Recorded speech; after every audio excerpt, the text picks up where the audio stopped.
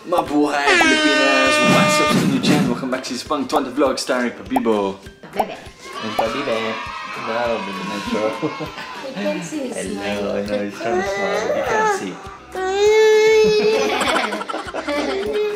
Ngayong araw, Don the Fem, magluluto ako ng ginataang gulay para sa aking pamilya at saka para kay Shanta. Siyempre, yes, mas marunong ako magluto ng Filipino food kasi kay Shanta. Excuse me, marunong ako mag-experiment. marunong kumain. Di ba, pumunta kami sa Filipino shop dito sa, ano, sa Australia. Um, bumili ako ng pagkain. Gulay, ganun. Like, eto, kalabasa, sitaw, doon sa Filipino shop na yan. Tsaka gata. Ngayon, magluto ako ng ginataang gulay. So, yun. Um, let's do this. You're beautiful, shine like a star.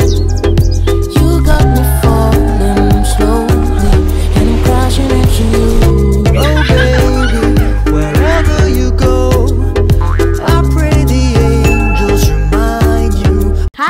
Ako po si Bailey at may Phil Talk ako. If you want to learn Tagalog or Bisaya, Phil Talk is awesome. Just go to philtalk.net and create an account. Sign up to PhilTalk today. Meron po tayong manok. Ngayon, sa mga importante yan, we also have kalabasa, we have sitaw, we also have pechay. Ayun, ito siya, pechay. Pechay! Ayun, no? Alam mo anong kulang? Ano? Eggplant. Ano ba yan? Talong. Talong yan. Sayang. We also have garlic. Tsaka sibuyas. You know? Okay, so una sa lahat, we're gonna chop up this sibuyas and this garlic. Ayun. Alright, eto siya. Let's do this. Sibuyas muna.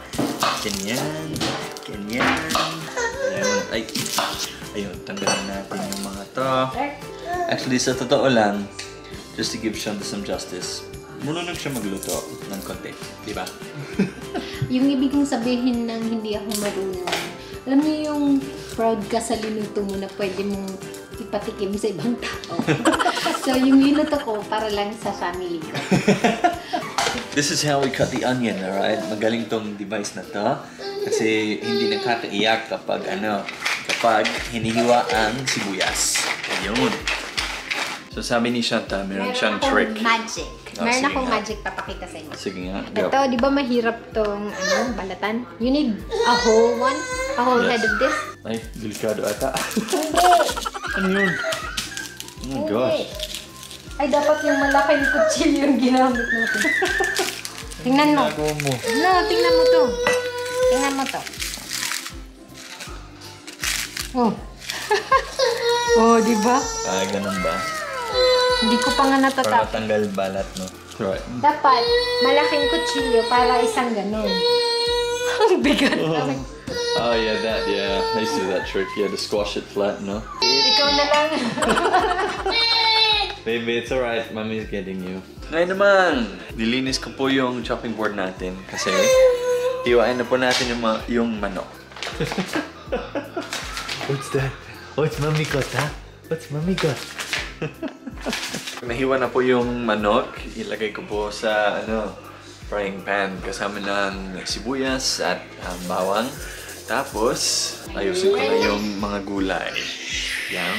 Linisin mo muna para malinis yung Ayan. That's raw!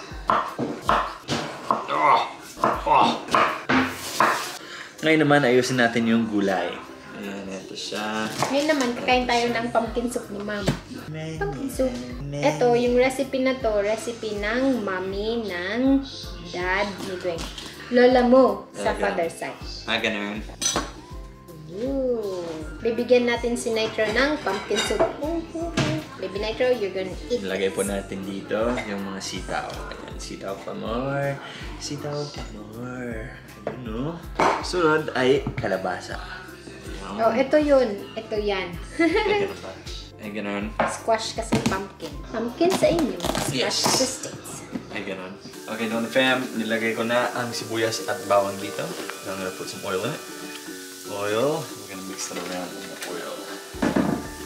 Ayan ba natin ang wooden spoon natin? Ayan. Ay, nagkalat ka. Okay. Feeling ko kulang pa yung oil natin. Konti. Konti. Ayan. Wow, feeling expert. Expert talaga. Yan. Okay, sunod. Lagyan natin ng manok. Ayan. Ready like this? Di ba kailangan hindi paghaluin ang manok na luto at saka meat na luto saka meat na raw, di ba? Yes, tama. Kasi nakaka-poison, di ba? Yes. Kapag brown na po yung manok, ilagay, ilagay natin yung ano, kalabasa at sitaw. Sayang kulang lang ang talong. Alright, niluluto na. Niluluto na. So mix na mix po muna natin. Mix mix lang muna para hindi madidikit sa ano sa ilalim. Mommy's home. Grandma's home. We're cooking for you tonight, Mum. okay, ito siya, Don Trofan. Naluluto na kasama ang kalabasa. Ang sunod naman ay gata. Ayan, ito yung gata natin. So, ilagay po natin dyan. Kaso feeling ko, hindi masyadong malalim yung frying pan nila. So, i-transfer natin dito. Tapos, lagyan natin ng sitaw. Mamaya, yung pinakahuli natin ilagay is pechay. Ito siya. Pechay. Ayun. Alright, let's do this. Pumpkin soup. Kumakain siya ng pumpkin soup. At saka kumakain din siya ng No, no, no. Nung nandito sa packet, tapos kumakain din siya ng ginawa ni ma'am na pumpkin soup. Tapos kumakain din siya ng pums.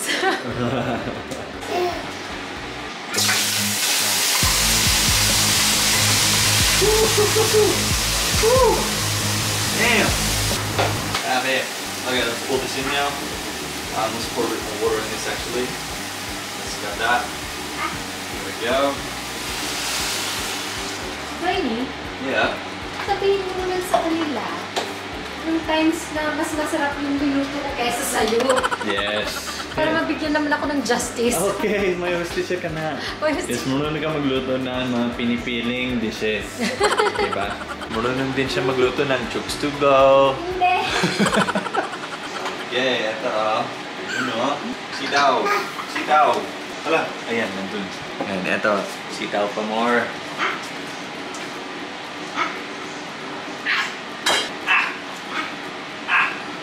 Ayun, so antayin po natin siya ng konti. Actually, takpan siguro natin din para ano, para mas mas masarap. Ayun, takpan natin. You know. Antayin po natin ng mga 5 minutes, tapos lagyan natin ng pechay, and then about 2 minutes after that, ready na siya. Ito na ang huling step natin, quattro fam! Uh, I'm just gonna take... Bakit may petchay? Kasi pechay masarap. Di ba eggplant dapat? Pwede din eggplant, pero basta kahit may eggplant na, ito yung pinakahuli. Yung pechay, yung mga leaves, ganun. Sana maging okay ito. Alam nyo, kasi yung tinuro niya sa akin, walang petchay. Yung tinuro niya sa akin, an talong, kalabasa, at saka, ano ba yun siya? Sitaw. Joke lang, hindi. Ay, yes, sitaw, tama. Boom!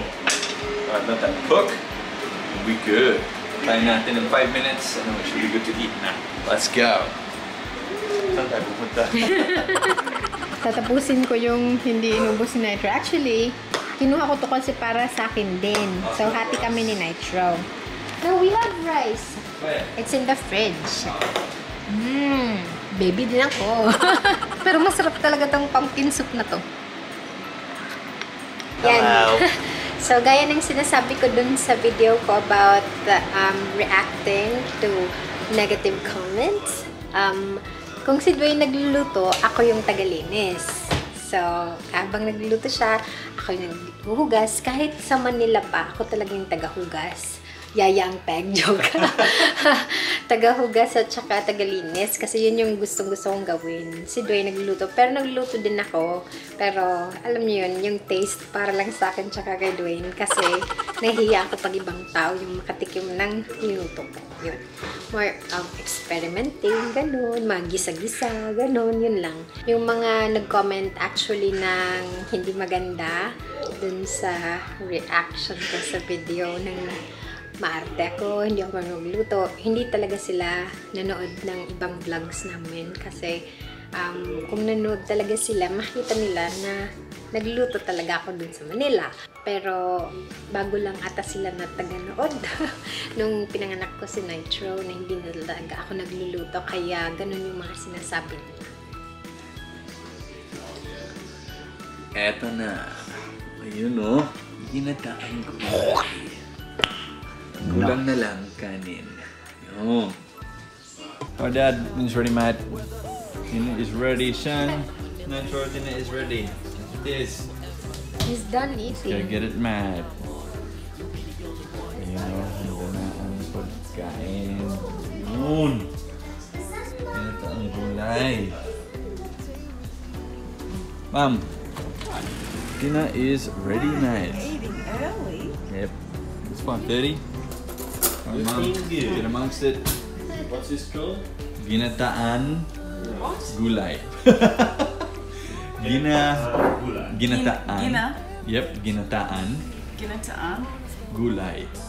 Ginataan gulai. Yes, that's right. Does that stand for in English? It, it means coconut veggies. But it's got chicken in it. Yeah, veggies That's cooked in coconut with chicken. It's deceptive. You think it was vegetarian? Yeah. Alright, this is mine. And his hands and knees. Ready?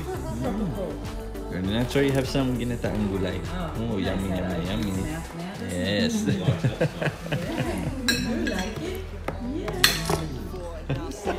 Nakalabasa. Ah, Daddy's Ah. cooking. ah, Yes. very good. Do I need the light on to see what I'm eating? Yeah, can you turn the light on, Sean? You good? See. Yes, surprisingly nice. Oh, really, Mum? Yeah. Mm. Coconut veggies, man. Lasang tayo.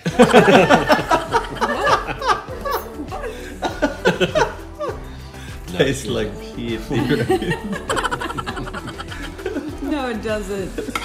It's lovely. You stop teaching him those words. everything to me if you let me love